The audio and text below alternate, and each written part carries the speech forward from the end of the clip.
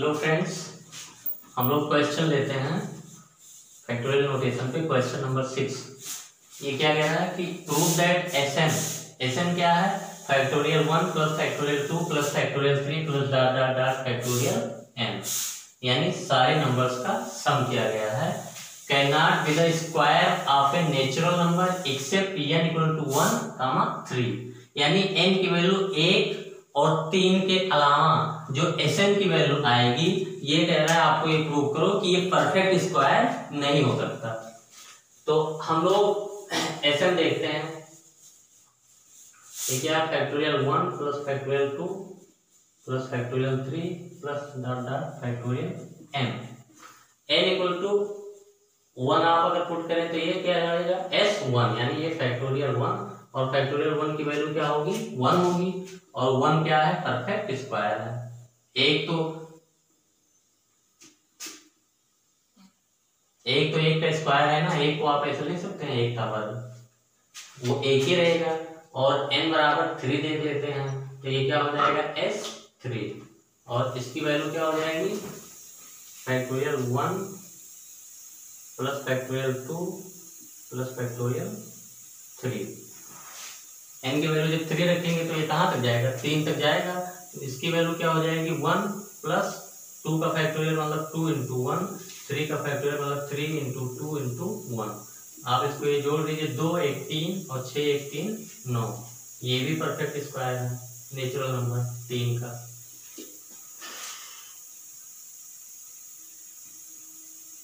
Perfect square यानी इन्होंने जो कहा है कि एन बराबर वन और थ्री उसको हम लोगों ने चेक कर लिया कि वी एन बराबर वन और थ्री पे तो परफेक्ट स्क्वायर है।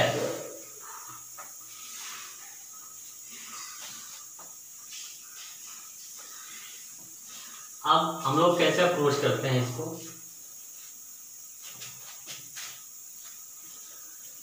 हम लोग क्या करेंगे जो ये सम जो आएगा, ये हम इसके यूनिट प्लेस पे कौन सा नंबर होगा, ये हम क्लियर करना चाहते हैं। क्योंकि आप ये तो कभी निकाल नहीं पाएँगे, इसकी वैल्यू तो कभी निकाली नहीं जा सकती। एन की वैल्यू दस रखेंगे, छोटी वैल्यू रखे तो निकाली जा सकती है। बड़ी वैल्यू एन की पता नहीं कितनी बड़ी वैल्यू होगी। एन कोई भी नेचुरल नंबर हो सकता है, दस crore.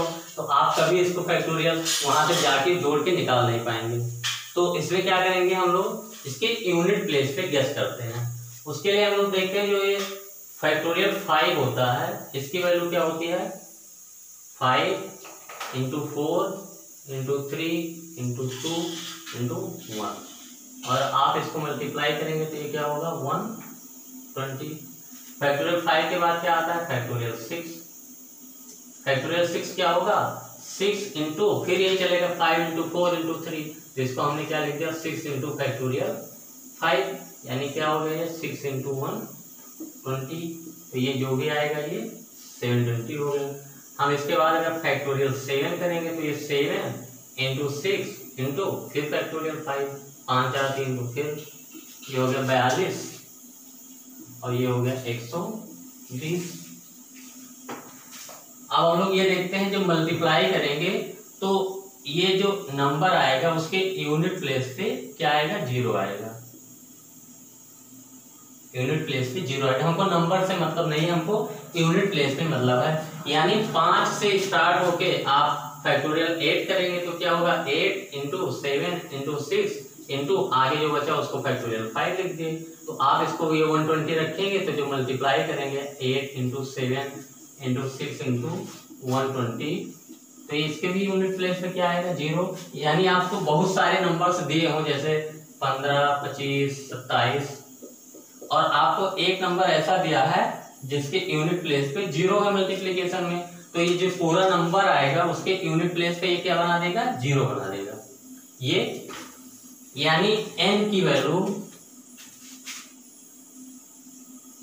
for N greater than equal to five यानी एन पाँच या पाँच से बड़ा की वैल्यू के लिए factorial N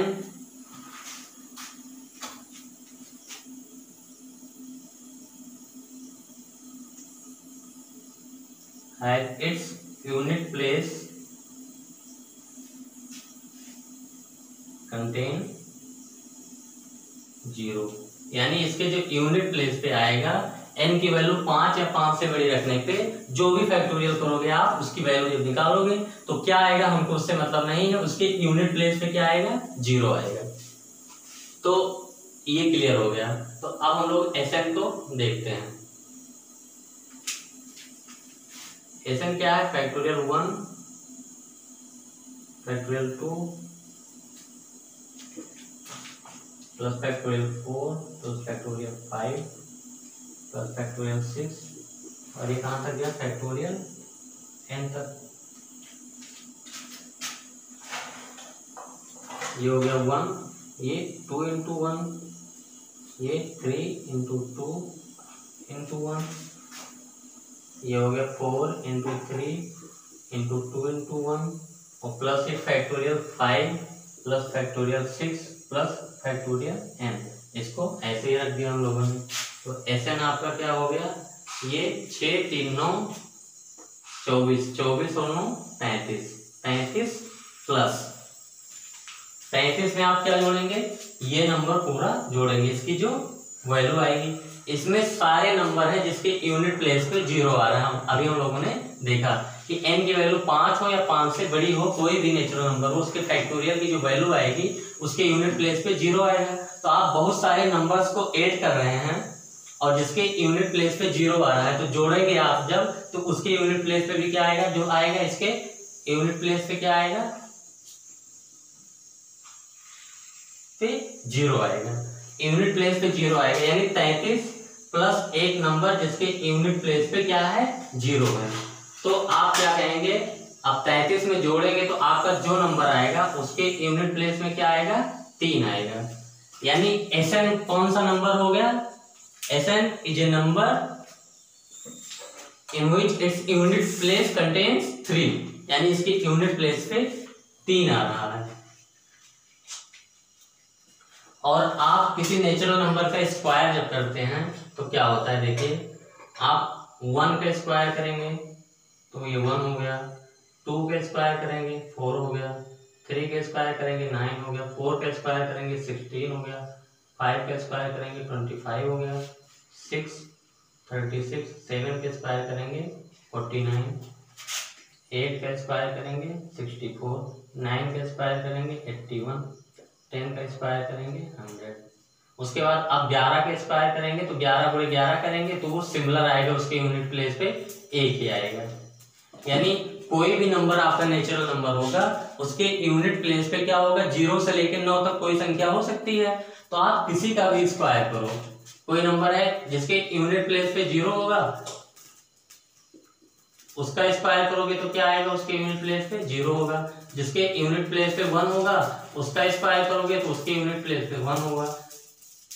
जिसका दो होगा उसके यूनिट प्लेस पे स्क्वायर करने पे चार आएगा। जिसके जिस नंबर के यूनिट प्लेस पे तीन होगा उसका स्क्वायर करने पे उसके यूनिट प्लेस पे नौ आएगा।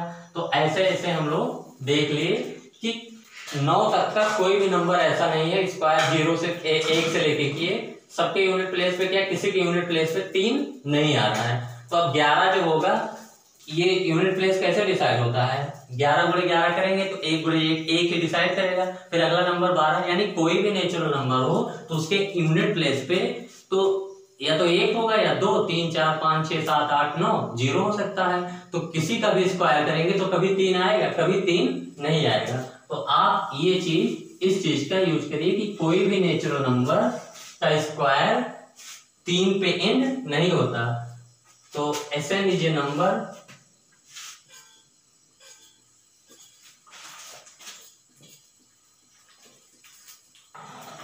Sm is a number in which Sm is a number in which its unit place its unit unit place contain three तो लिख लीजिए आप एक लाइन में square of any natural number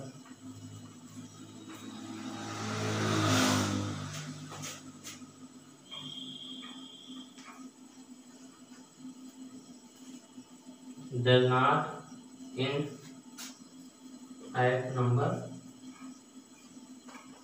three ऐसे आप कह दिए square of any natural number does not in number three इसका मतलब कि उस जो नंबर आएगा वो तीन पे कभी खत्म नहीं होगा।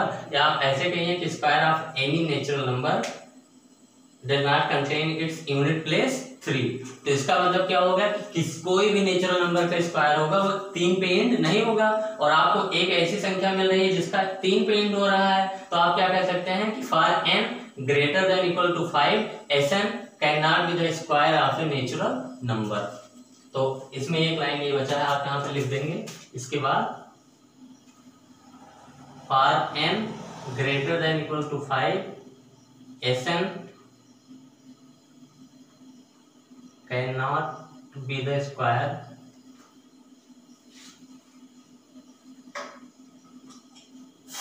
Of a natural number. तो पाँच और पाँच से बड़े के लिए हमने प्रूव कर दिया। वन और थ्री पे उन्होंने कहा ही था। क्या बचा? टू और फोर एन की वैल्यू टू और फोर आप चेक करके देख लीजिए, उसमें क्या आता है।